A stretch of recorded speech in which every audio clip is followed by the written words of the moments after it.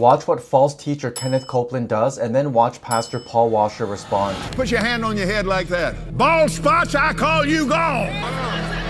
Hair grow. Glory to God. Is happening. Now, let me tell you something about false teachers. False teachers are God's judgment on people who don't want God, but in the name of religion plan on getting everything their carnal heart desires. That's why a Joel Osteen is raised up. Those people who sit under him are not victims of him. He is the judgment of God upon them because they want exactly what he wants and it's not God. And you can line them all up along with him. Subscribe if you want to see more videos like this.